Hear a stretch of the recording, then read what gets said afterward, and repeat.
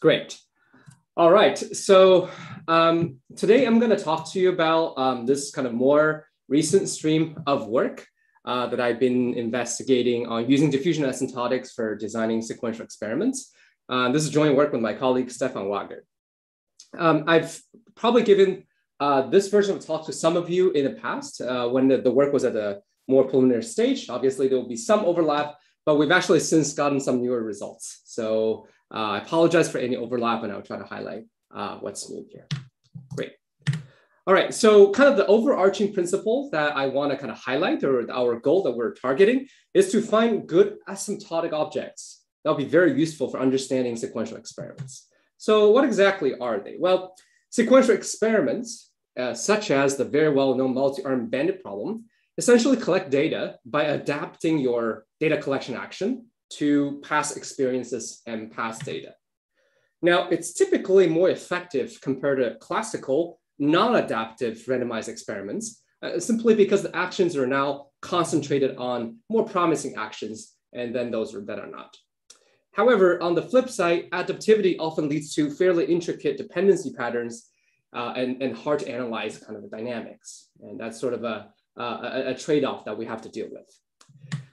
Um, this field of adaptive experiments have since really sparked a lot of work and a really rich body of literature. However, I would say at the very high level, probably fair to say existing work largely focuses on domains with automated adaptive learning, such as uh, kind of pricing or uh, recommendation systems that really require robust worst case performance guarantees. Worst case in the sense that the algorithm should do well uh, under all sorts of combinations of parameters. And so that the algorithm can actually run pretty well with little human oversight. But more recently, I would say a lot of higher high stake applications are emerging where humans are actually closely monitoring and fine tuning an experiment. Uh, think of public health interventions or infectious disease testing. Now, in these examples, I would argue that's actually very valuable to be able to move past worst case guarantees. And specifically be nice to have a refined instance specific understanding of the stochastic behavior of a particular types of adaptive experiments. And that's exactly the goal for this talk. So in this talk, we'll be interested in establishing a diffusion asymptotic framework so that we can have a fairly unified treatment of a family of sequential experiments and including several popular algorithms. And within this realm, we're interested in getting a new tool for getting instance specific regret and sample path characterizations. It's like a, think of a as a somewhat of a microscope. Maybe you can let us uh, describe the process happening with a finer scale and getting more refined understandings. Now to illustrate how to use this tool, we're gonna look at the special case of uh, Thompson sampling. Uh, as many of you know, this is a very popular um, uh, family of policies and some of the earlier theoretical analysis was actually uh, pioneered by Shipra, who just gave a talk in this uh, um, seminar series. Okay, so that's the rough plan for today's talk. Okay, all right, so jumping right in here, um, let me first start by defining what's the class of experiments we're looking at and along with the definition for, for diffusion scaling. Okay, so let me introduce a fairly standard framework of stochastic multi-arm bandit problem. So here we have a sequence of decision points, that's discrete time, uh, from one through n, and n being the horizon or sample size of the experiment. At every step i, an agent chooses an action a from a finite set, then observe a reward yi. Now we're gonna assume that yi is drawn from a distribution that only depends on the action that you chose, and that the mean of the kth action is denoted by mu k. And importantly, the realization yi is otherwise independent of everything else in the system, only depends on the action you chose. And action AI being in a adaptive experiment can depend on historic uh, observations. Right, so a standard goal in this type of problem is for the agent to kind of figure out over time which action has the highest mean reward and to achieve the highest expected payoff over uh, the entire course of n uh, samples. So one way to measure how successful you are doing this is to minimize this notion of expected regret. Now by expected regret, I would define that as the difference between your expected payoff relative to the simple, uh, the single best action in hindsight. So here Rn is n times the supremum over all the mean rewards. That is the kind of ideal situation, how much you can hope to get, minus expected value of your actual performance, which is mu sub AI. Okay, so that's a standard definition of regret in a stochastic multi-arm bandit problem. All right. All right, so this kind of uh, defines the, the, the realm of, that we're operating in. So now let me introduce the asymptotic regime uh, that we're gonna go into. By the way, by asymptotic, we're doing so because oftentimes that brings a bit of a clarity and insights uh, on the type of system. And for this audience, I'm sure that's a fairly familiar concept. So we're gonna look at a sequence of systems indexed by the sample size n.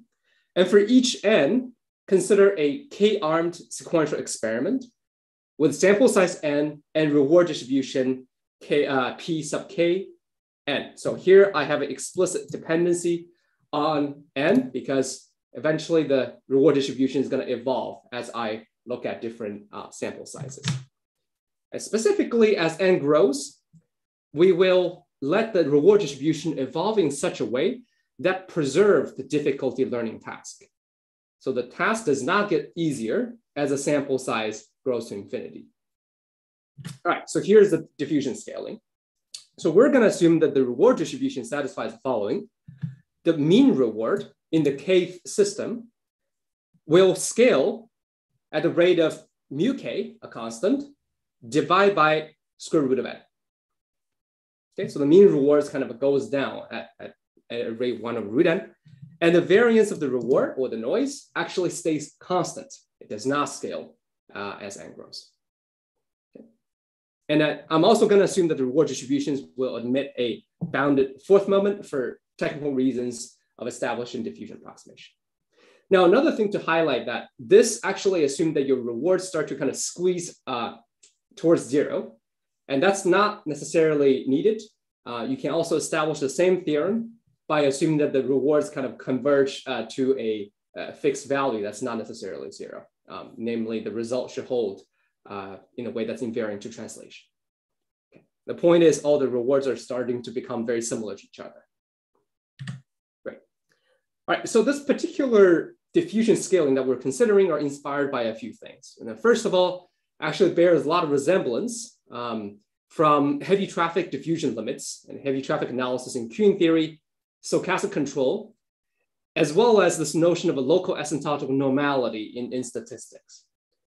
Okay, so borrows a lot of idea there. By the way, um, just as a general thing, I apologize I'm skipping a lot of specific references for space reason in this talk, but I'm attaching a link to the, to the preprint where all the references are given. Now, an important feature for this type of scaling is that as n grows to infinity, my belief as a decision maker about the truth on the mean rewards, even after a large number of samples, they do not converge. They remain a non-trivial distribution. Okay, so they remain genuinely uncertain, even after the entire experiment. And such settings are quite important in applications where sample size is fairly moderate compared to the signal. For example, you might be in a clinical trial where the treatment effect is very weak, um, and you still want to do great things. You don't want to incur unnecessary costs, and you want to minimize kind of a negative impact to the patients. All right.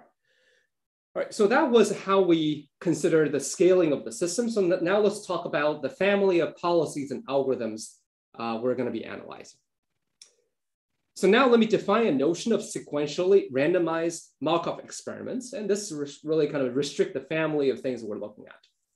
To start, let me define two state variables for any kind of um, uh, policy.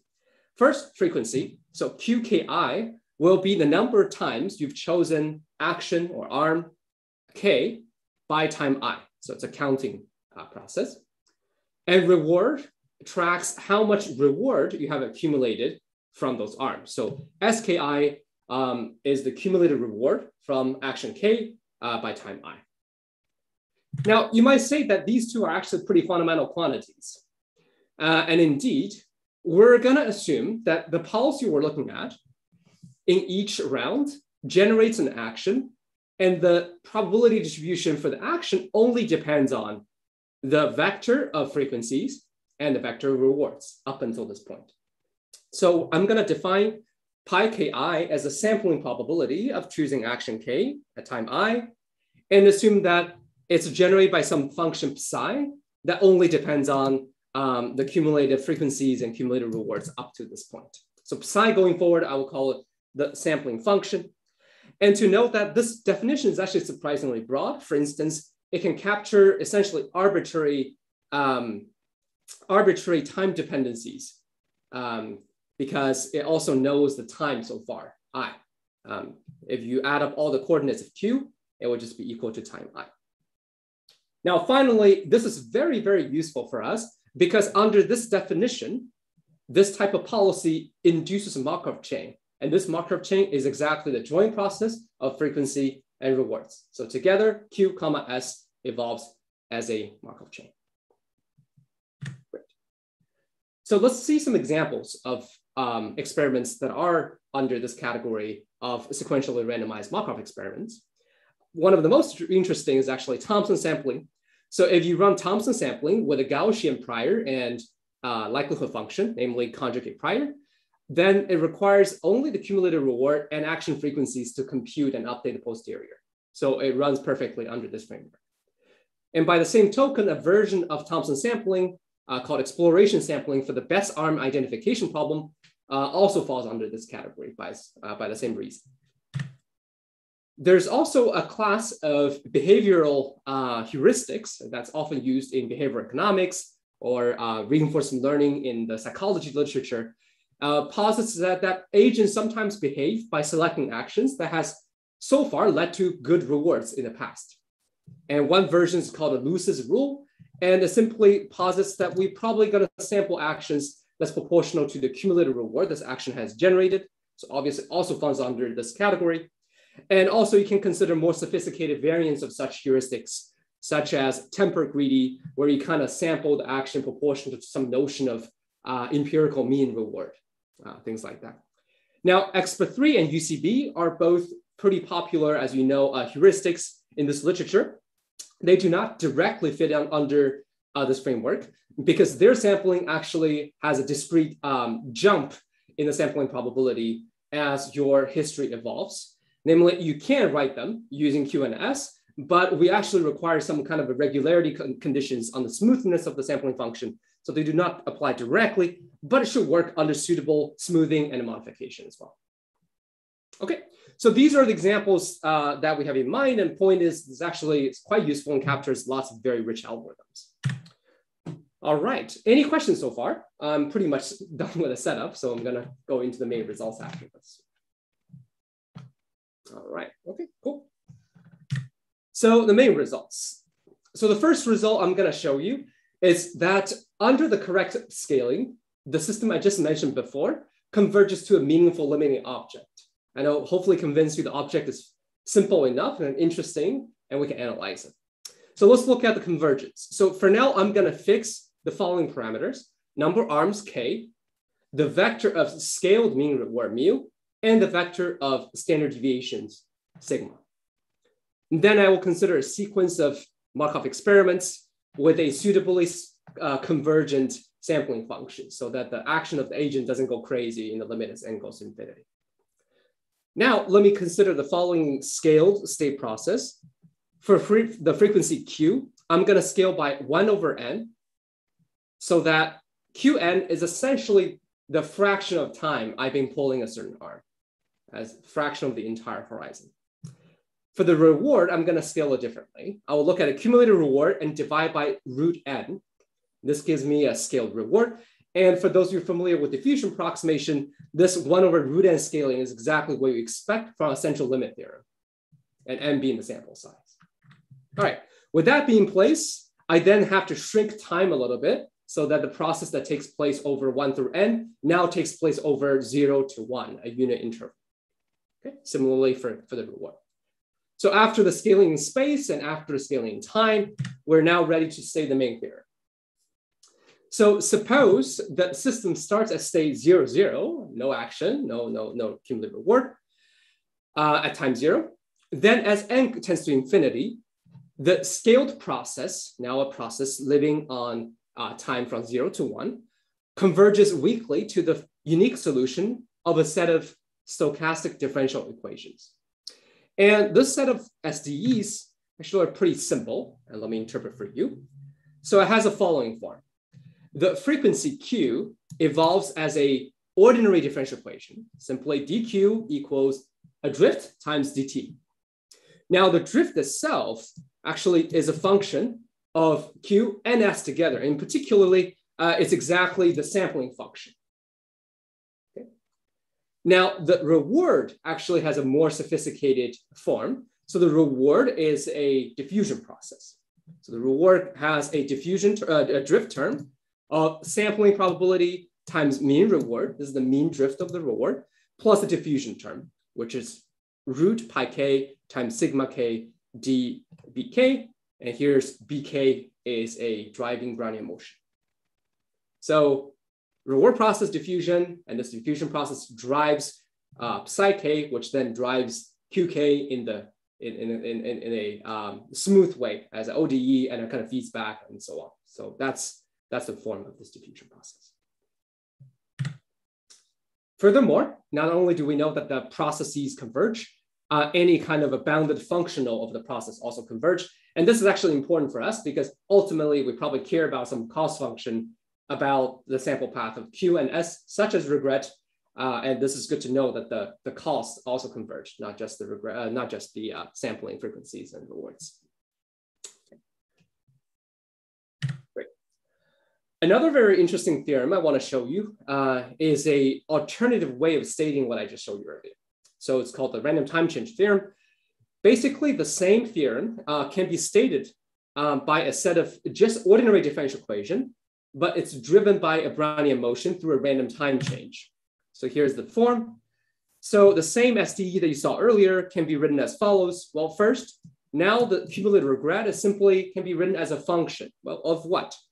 Of the times that you've pulled a particular arm. So the, uh, the reward from arm K is simply uh, QK frequency times mu K expected uh, reward plus a noise term. And now this noise term is sigma K times a Brownian motion WK but the Brownian motion is observed at a random time, and this random time is exactly qk itself.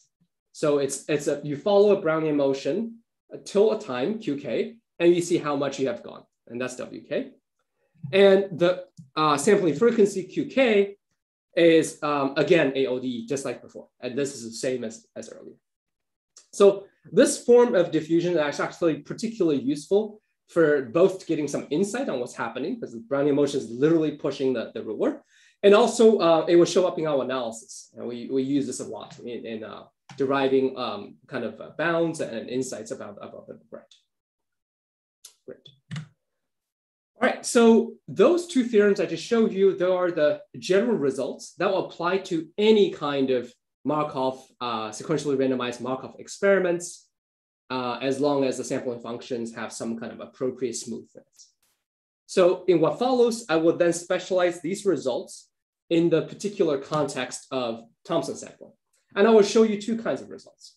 First, we probably want to have a, some understanding of the regret of Thompson sampling. And I will show you a set of results that give a more refined understanding of regret behavior than earlier, uh, than previously. No? And the second set of results kind of look at the sample path distribution. And that's another benefits um, of this type of tool that gives you kind of an interesting uh, angle understanding distributional properties of sample path of Thompson sampling. So let's dive into the very first one on on the regret of Thompson sampling. Jing, just so that I'm aware of time, how much uh, time do we have?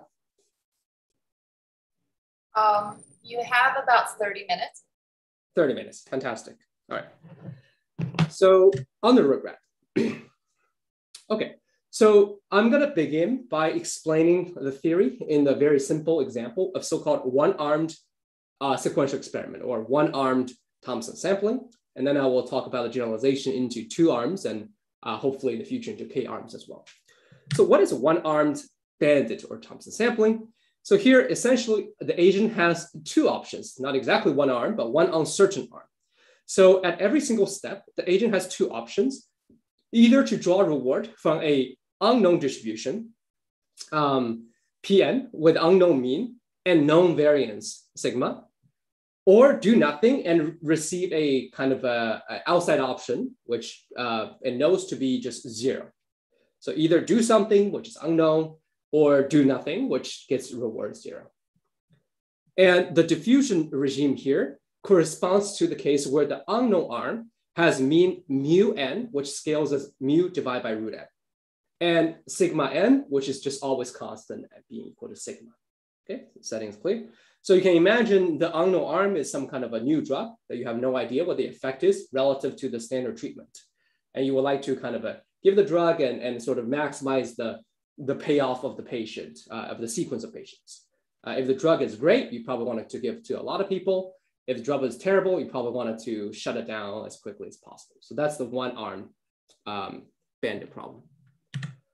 All right, so if we apply Thompson sampling um, to this problem, um, then uh, here's what we expect. So first of all, what is Thompson sampling? Just to briefly recap uh, what it is. Thompson sampling was actually developed as a Bayesian heuristic uh, back in the 1930s by Thompson. It was a very short uh, description in the paper. And the rationale being that the agent essentially assumes that the problem instance is drawn from some prior distribution.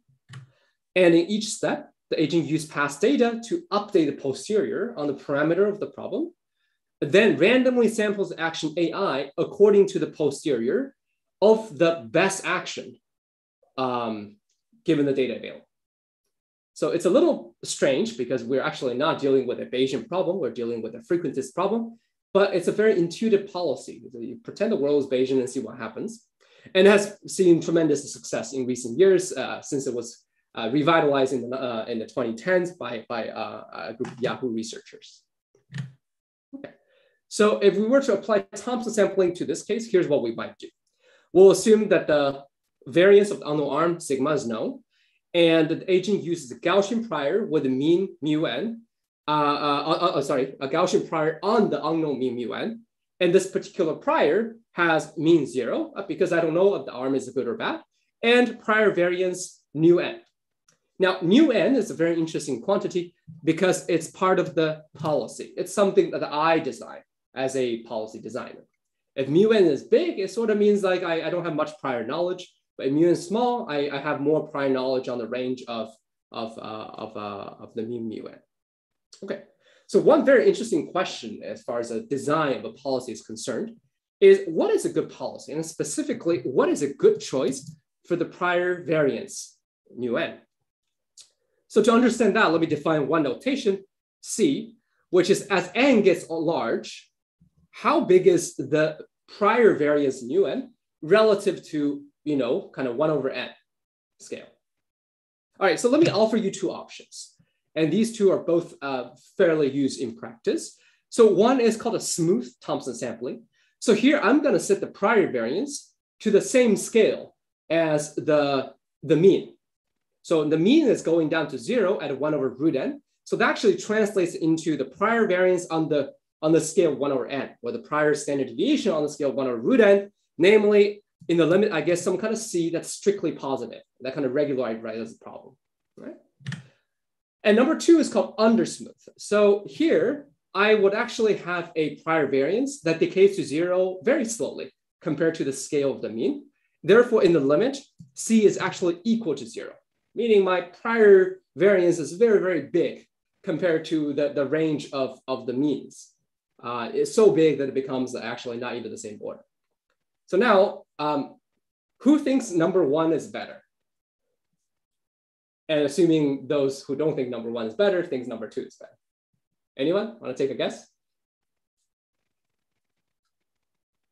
All right, Siva, what do you think? I have to ask some students for co why are you picking on me? I don't know. I have no clue. Maybe I'll go with one is better. okay, you think one is better. Anybody else? All right. Okay. Well, we're all very tolerant here. Could be one, could be two. Great. All right. So yeah, so it's, it's like not so obvious, I guess. So one one is sort of if you were a Bayesian person, you probably think one is reasonable because if you're Bayesian, your prior variance should probably reflect the range of parameters of your parameter, right? So if your parameter is on that scale, you probably want prior scale. And number two is, uh, is more like, it's not a very confident Bayesian person. It's a person that says, I'm Bayesian, but actually never mind. I don't have any prior. Let's just believe anything, right? So the variance is really, really big for the prior. All right, cool. So I have no idea. So we ran some um, uh, numerical tests. So this picture actually came from running the diffusion limit of Thompson sampling applied to the setting. So let me explain. Um, there are two lines here actually, but they, they converge, which is great. Uh, one is the actual simulation and one is the diffusion um, uh, trajectory of the diffusion process. And they're virtually the same, which is great. So it's one line. Now on the left side, we actually have a uh, regularized or smooth problem. So here is case number one is on the left side. And case number two is on the right-hand side. And that's when the prior variance is huge, actually stays just at one, it doesn't even scale. Now on the top row is when the, the drug, the unknown drug is great. So mu is positive on the top. And the bottom row is mu is not great. It's basically minus 10, okay? So on the top, both perform very well, namely after some time, um, people are getting a lot of this kind of unknown drug because it's great drug. On the bottom row, both start to shut down the bad drug, but as you can see, the difference is stark, very stark. The smooth version shuts down the drug slowly and still suffers a fairly significant regret, whereas the under smooth version shuts down the drug very quickly, um, aggressively, and has a much smaller regret. Okay, so that's one numerical evidence, of course, a bit anecdotal for now. So another more interesting evidence here, I'm actually doing a more thorough simulation, um, numerical calculation. On the left-hand side, I'm showing the regret of Thompson sampling as a function of the arm quality, mu, minus meaning a bad drug, positive meaning good drug. So as you can see, when the drug, uh, when the mu is positive, then across different shades of C, so each line represents a different C, the black line being C equal to zero and the colorful lines being C greater than zero, they're all doing pretty okay. As, as mu gets large, the regret is small.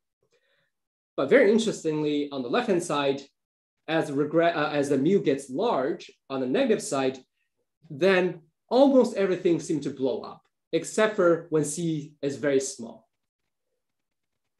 And one take-home message from this chart is that if you set C equal to zero, namely under smoothing with a huge prior variance, then it always does fairly well, both to the left and to the right.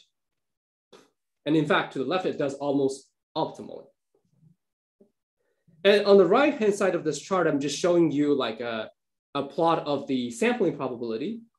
Um, and here the main message is that you observe this kind of subtle bias that uh, when mu is above zero versus when mu is below zero, there's an asymmetry. They're not exactly symmetrical around zero.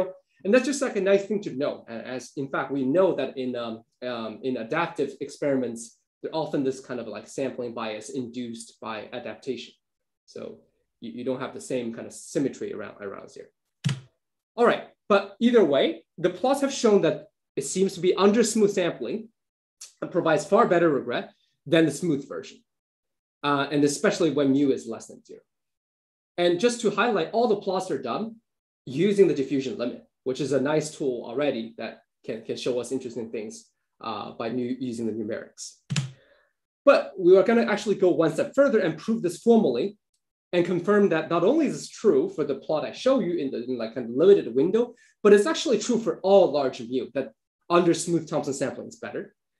And we'll do so using the diffusion limit, as well as this regime so-called uh, super diffuse limit uh, regime, which is a limit where we first take the diffusion limit as n goes to infinity.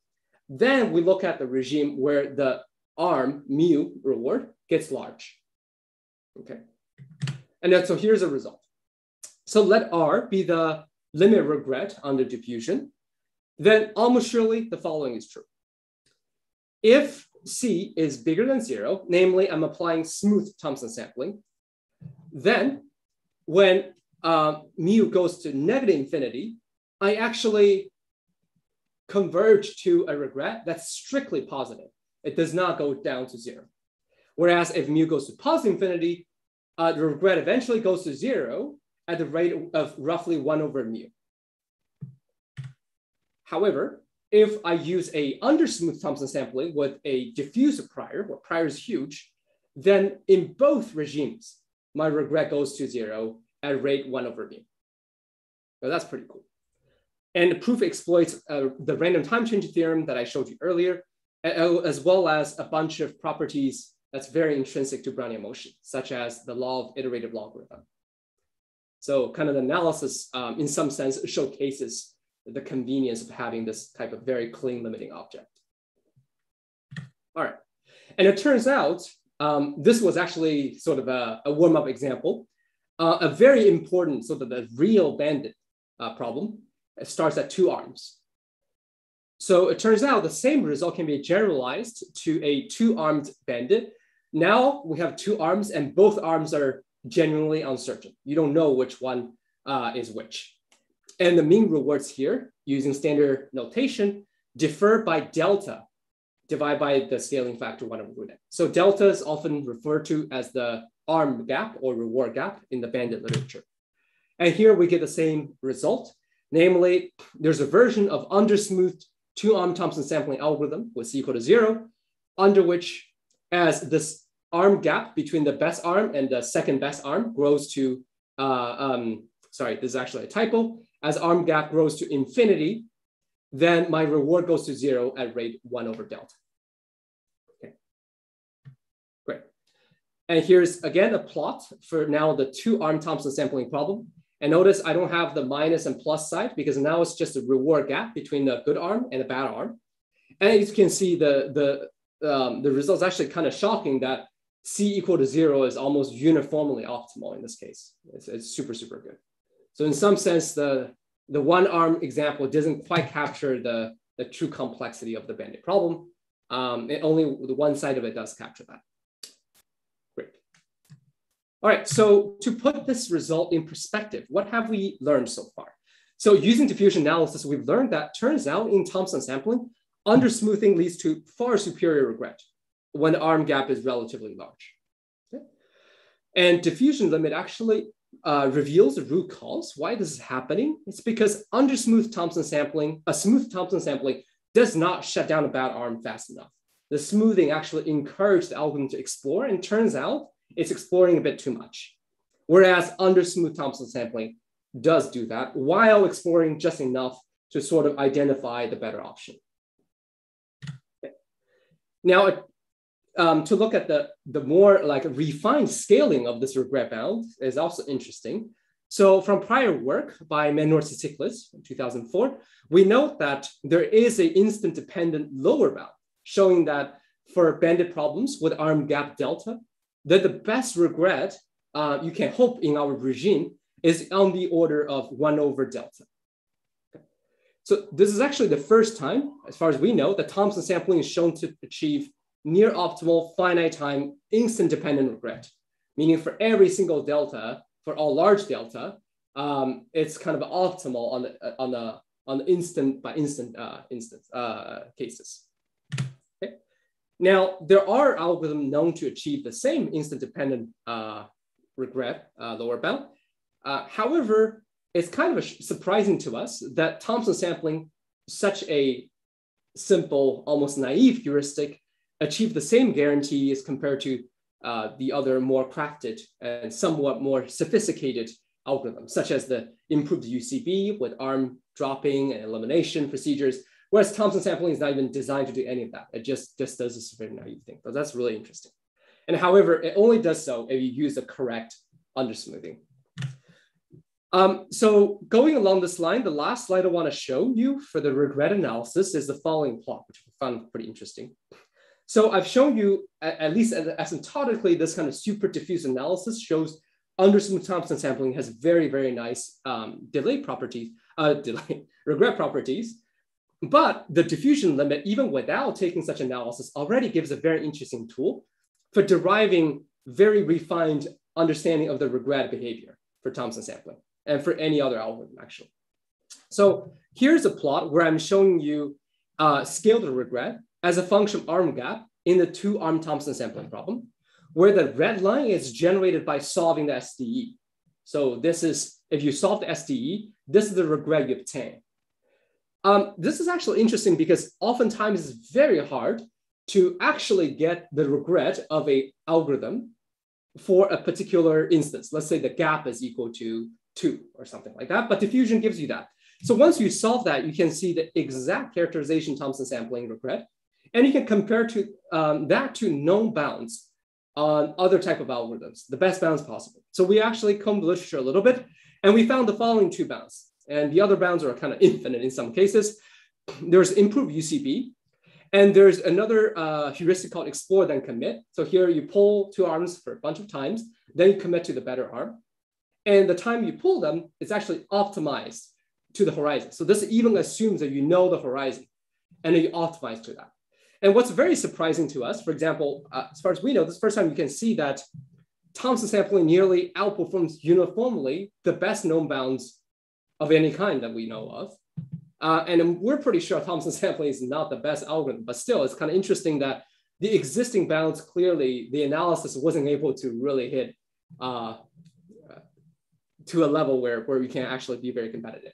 So Thompson sampling actually outperforms both explore and commit and improve UCB.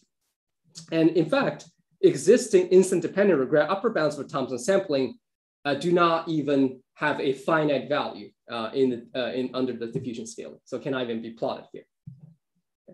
Now, the point of this plot is not to show that Thompson sampling is the best thing in the world. We, we, we absolutely should use it. It is actually very nice. We show that's really nice, um, but more just to show that this actually provides a tool for you to do such comparisons at the more uh, nuanced and refined level. All right, so that was a discussion about the regret behavior of Thompson sampling. Uh, in the remaining, I guess we have five minutes until Q&A. So I'll try to give a, uh, another angle to, to this tool, which is the sample path behavior Thompson sampling. I think with the diffusion, it's nice to get extra distributional information about how the algorithm performs. So again, before showing you the, the, uh, the theoretical results, um, the diffusion limit already allows to do some interesting simulation. So here I'm showing you the simulation of the diffusion process associated with one arm under smooth Thompson sampling. That's the version of Thompson sampling that we said it was really cool. And you see some pretty interesting behavior. Namely, even though we know the regret performs pretty well in the mean, the sample path is a bit violent. Okay? So here I'm plotting the sampling probabilities of different runs of Thompson sampling. As you can see that either when mu is negative, which is a bad arm, or mu is a positive, which means the uncertain arm is a good arm, you can see there sample path where the belief of Thompson sampling oscillates violently in the wrong direction. So here the arm is bad, but you, you can see the pink trajectory at some point believe the arm is almost 100% a good arm. And same way, here the arm is good. Most trajectories tend to believe it's good, but there are some trajectories that really is convinced early on that was a bad arm and sort of stuck to that belief. Okay. And the sim similar phenomenon happens uh, when you use the diffusion limits to analyze the regret of two-arm Thompson sampling. So here I'm plotting you a distribution of regret uh, profile uh, using the, the, in the diffusion limit on two arm. As you can see, even when my um, uh, arm gap delta gets larger and larger, so most of the time regret is very small, you see these bumps at two, four, six, and eight. And these are sort of the, the worst case regret you can hope for. So interestingly, we thought these were numerical errors. They're not. They're actually the sample path where the, the algorithm really made a wrong belief early on and sort of struggled to recover. So you see these pretty violent mistakes by Thompson sampling. Okay. All right, so what does the theory say? So using diffusion limit, you can show the following type of result, which says under smooth and Thompson sampling, despite having a really nice mean regret performance, actually has a highly variable sample path. So when C is equal to zero, and regardless of the effect size of mu, uh, the quality of, of, of the uncertain arm, we know that with one arm Thompson sampling, that if you look at the belief pi t, which is the sampling probability times the sampling, near zero. So this result says essentially it will be arbitrarily convinced that the wrong assumption is actually the true assumption okay? with arbitrary confidence. So it really has a, a lot of a violent behavior at zero as you get new data. It might just believe uh, because of the lack of smoothing that um, the, the regret is very, very good, in, where in reality, the, regret, uh, the reward is actually very bad, or vice versa. So Thompson sampling is all, almost always at some point arbitrarily convinced about mu having the wrong sign. So you can actually see that from the theoretical analysis as well. Okay. All right, so now to uh, a summary. So the first question, maybe just stepping back a little bit, uh, why would we use diffusion asymptotics in these examples? Well, first of all, it actually leads to new insight. Just like diffusion asymptotics in queuing theory, oftentimes kind of lets some of the less important features of the problem uh, die away and kind of highlight, um, using the words of uh, Kelly and Law, the kind of the important feature of the problems are kind of putting sharp relief once you have a, a fairly nice asymptotics. And not only the insights are there, but you can actually derive sharp instance specific characterization regret that was not possible before without the tool. And in addition to that, you get distributional characterization, you get universal approximation so that the same result can hold even when your exact finite sample um, regret, uh, reward distribution um, are non-Gaussian or are, are beta Bernoulli. And so the diffusion approximation actually does not depend on minor features of the reward distribution. It's a great sanity check. It gives you kind of some kind of a, a, a nice idea about how things perform. And finally, we're very excited about this direction is hopefully this can power a host of inference algorithms. Once you have a good understanding of diffusion approximation, hopefully you can use that to derive powerful confidence interval bounds. Okay, so uh, in our ongoing and future work, uh, we're hopeful uh, to extend this framework into general K-arm bandits inference uh, as well as other algorithms beyond Thompson sampling uh, that's being used. Okay. So to sum up, we've advocated for a framework for analyzing adaptive sequential experiments using diffusion asymptotics.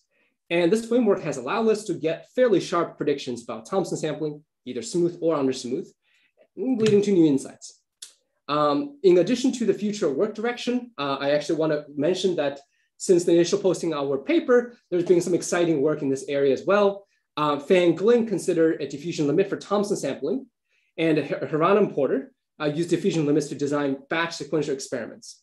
And both works are independently uh, done from us, um, but it's very nice to see that uh, similar tools are, are being used to understand sequential experiments. And I think that's quite an exciting area.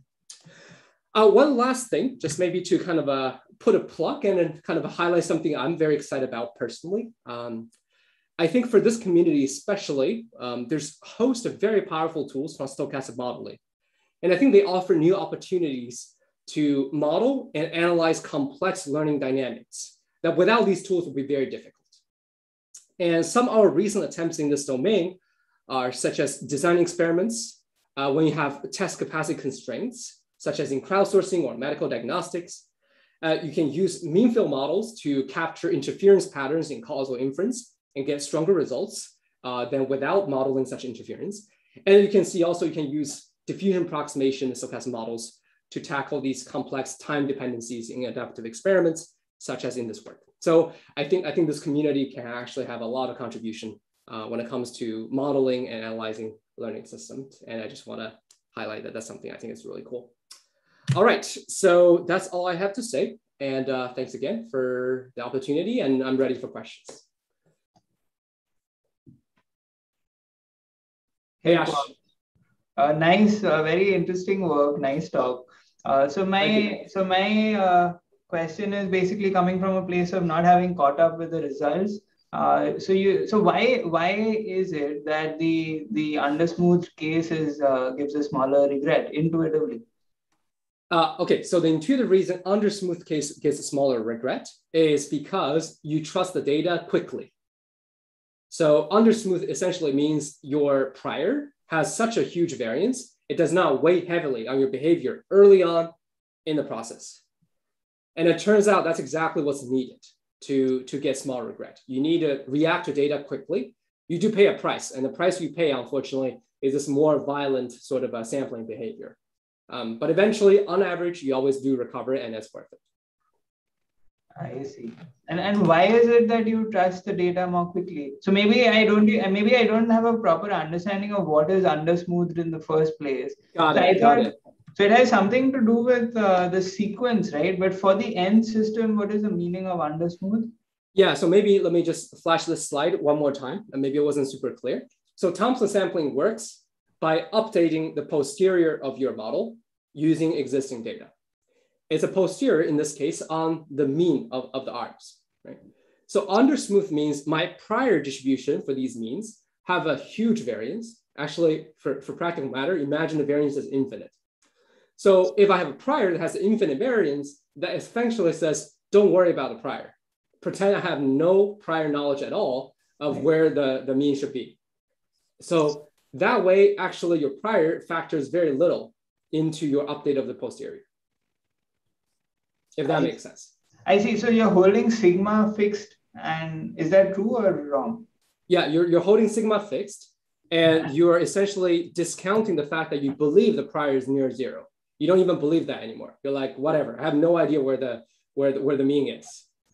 Okay, good, good. Uh, my confusion was that I was thinking of it as being an assumption on the, the variance uh, sigma, but it's a, an assumption on the prior. So now I get it. Exactly. It's a var- assumption on the it's the variance on the mean. Sorry, it's a little confusing. It's a prior variance on the mean, whereas the sigma is just known and it's fixed throughout.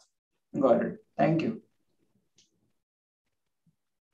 And by the way, maybe let me highlight, we're not the first to discover that uninformed prior works well. This is very well known in practice and in the literature. But probably one of the first to give this type of very precise uh, analysis of why it does well.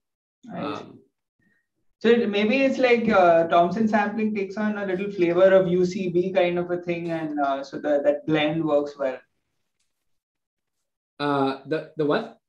So in the case of an uninformed prior, Yeah. so my intuition now, based on what you've been explaining, is that maybe uh, Thompson sampling takes on a little bit of a UCB type of flavor, meaning that it's it's like uh, it's not zeroing in on, on an arm too quickly, and, and it takes a while. It, it explores and then uh, then converges. Actually, it's almost the opposite. So you Oh, actually yeah. want it to zero in on the arm very quickly, but not not too quickly. You're right, but it's like more quickly than you would have gotten if you had a, you know, smooth prior. But yeah, it's I, I cannot definitively say what the connection is to UCB in this case, but yeah, it seems to work pretty well. Thank you. I have a question. Sure, Steve. I'm struggling to um, understand the motivation behind the scaling regime. Can you explain? I probably missed it. Can you explain that again? Yeah, absolutely. Actually, that's a very, very good point. Um, let me maybe emphasize a bit. The okay, so here's the scaling regime. Okay, so maybe let me let me motivate a little bit uh, the scaling regime. So when you consider in general bandit type of problems, you can imagine there are three regimes. Okay, so there's the one regime where the rewards are super different, and the samples are very abundant. So in those regimes, after a few samples, you kind of figure out which arm is better, and you pull those good arms. Okay, so that's so-called the fixed design regime. It's like the Rob, Robbins Lai regime. You get log and regret. Great. There's another regime, which is uh, what I call the trivial regime, where your, re- your rewards are so similar that it really doesn't matter what you pull. Let's say all the arms have exactly the same rewards. Okay. And there, it doesn't matter what you do, you're fine. Now, the sort of arguably the most challenging and damaging regime, where a good algorithm bad algorithm perform very differently, is the regime where the rewards are sort of similar, but not so similar. It's hard to tell. And yet, if you don't tell them apart, you suffer a lot. And that's exactly this regime. It's a regime where the rewards are differentiated, but at the scale of one over root n. And in fact, this is, again, uh, something that's well known in the bandit literature. Almost all the kind of a worst case uh, upper lower bounds are driven by this regime. So whenever you see a regret bound of root n, that's exactly the regime. What we do here is actually take that regime, but impose a well-defined scaling to it. Mm. So you, you fix the direction of scaling and you scale down. And that way actually gives exactly the kind of the, the nuance of that regime in particular, if that I makes see. sense. Got it. Thanks. Um, a follow-up question. So you talked about lower bound by Mannor and Fitzgerald. Is that for this specific regime or is that a universal lower bound? That's a universal lower bound. So the Tsitsis uh, Mannor lower bound applies to any n and any uh, delta But if you plug in the delta and n for this regime, you get exactly what I showed you earlier, which is one over delta.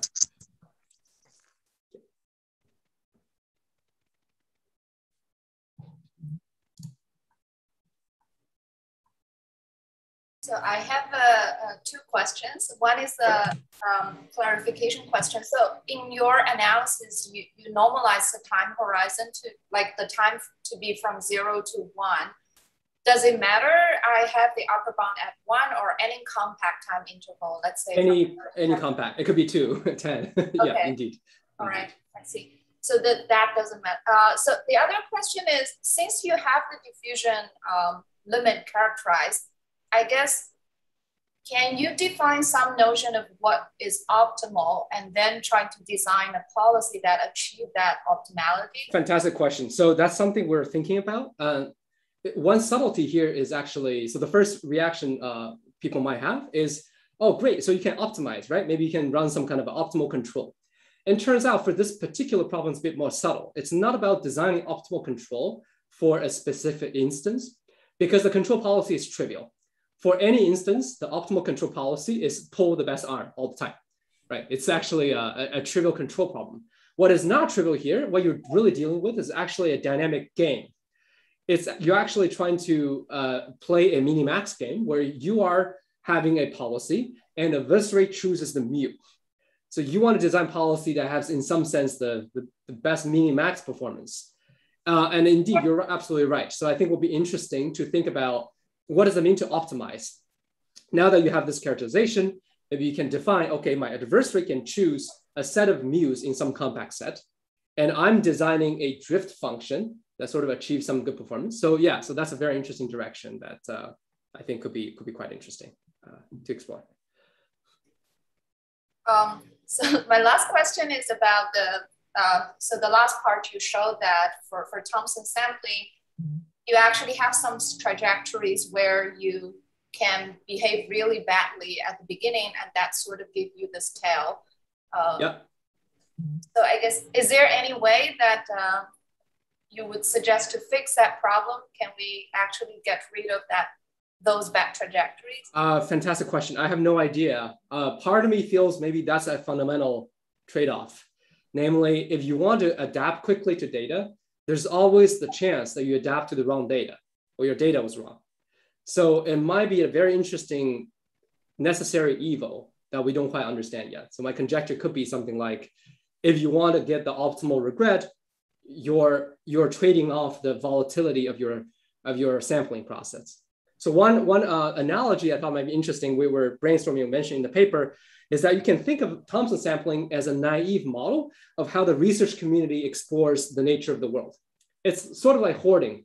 So the posterior distribution of Thompson sampling is essentially the fraction of researchers believing certain uh, hypotheses to be true.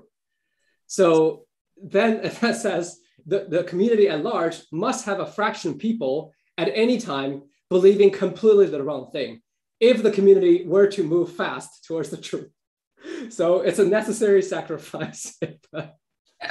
um, so it, yeah, it's kind of interesting to think like that's actually a it's actually a pretty good analogy because then it's like a group of people, uh, individuals have different beliefs and they all believe their will is correct.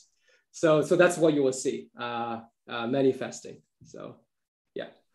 Thank you. Um, sorry, Kuang, I have a question. Um, sure. And maybe because I did not understand you correctly, but so is the punchline that unsmooth um, Thompson sampling is better uh, than the smooth version? But if that's the upshot from your talk, uh, then doesn't it crucially rely on the fact that we are taking, we are looking at diffusion asymptotics and we're taking n to be infinity? Um, right. So, okay, the, the, the, let me unpack your question. I think there are a lot of uh, questions here. So first, um, the diffusion asymptotics work pretty well with reasonably large n. So it's not like you have to go crazy on n, for one. The, the second is that I, I do think uh, sort of the implied assumption of looking at a diffusion asymptotic is that this diffusion regime is important, meaning we are interested in designing algorithms that perform very well for this particular regime. Now, I have not argued that how well would this do, uh, this algorithm do in those other two regime I, I, I, talked about when Siva asked the question, right? For example, in the fixed design regime or in the, in the trivial regime. Uh, personal hunch, and, and maybe just based on the literature that we've seen so far, the fixed design regime, um, this might not be, uh, in fact, um, people have shown um, uh, that um, Thompson sampling actually does very well in the fixed design regime, but this is not captured by the diffusion. However, it might also ar be argued that many other things also do very well. Uh, in fact, they do in the fixed design regime. So I would say maybe it's a bit easier to design good things for the, for the regime where the signals are super, super strong. Now for the trivial regime, if you don't care, whatever, it, anything works, right? So in some sense, yes, I would argue that um, it's important to look at this kind of scaling where the re rewards are kind of close to each other. And now that if we accept that that's the, the regime we're in, then yes, I would say that's exactly the insight. That the upshot is that under smooth Thompson sampling performs very well uh, in this regime compared to the smooth version, which is kind of interesting because it kind of goes counter to the Bayesian intuition. So that suggests that Thompson sampling works well, but not because why, why we thought it worked well in the, in the first place. It's not because it matches some kind of Bayesian intuition precise. In fact, it, you should not match a Bayesian intuition because you should not use sort of a, a, uh, a very well fine-tuned prior uh, variance uh, there. Does that answer your question to a certain degree? Yeah, thank you very much. Um, another follow-up question. So with this diffusion scaling, um, I have a bit of difficulty like coming up with real examples because it appears a bit unnatural for the means to be scaling with the sample size. Um, I, I, assume that this is not like a modeling, it is more of a modeling um, assumption and not like a description? Yeah, so that's a fair question. So I would say again, every time you take the limit uh, in practice, you don't take that literally. You don't take, you don't imagine a system that actually goes to into infinity.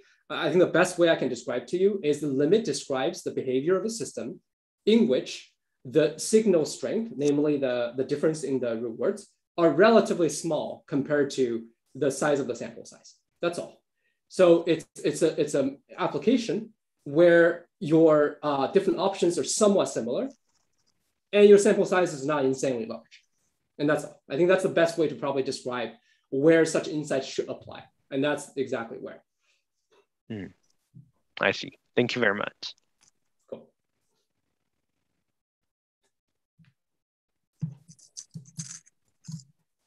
Can I ask one more question? Sure. Uh, so uh, you stated the process level convergence theorem, which is true for pretty much uh, a broad class of uh, uh, learning policies. But then you use the process level convergence theorem pretty much to focus on Thompson sampling. So what are the challenges in studying other other learning algorithms? Um, not in particular. We we just thought we should find something that everybody cares about.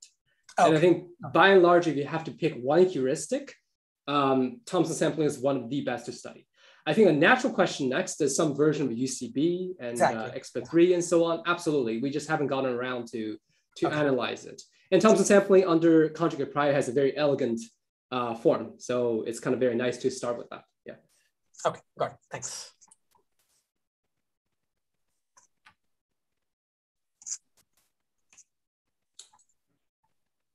Okay. Um, if there's no further questions, uh, let's thank the speaker again. And thank you all very much for being here.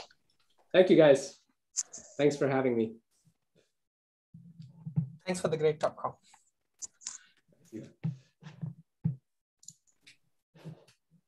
Siva, uh, do I just click on the end? Uh, do I just uh, click on the end stream on YouTube or I have to do something on, on Zoom as well?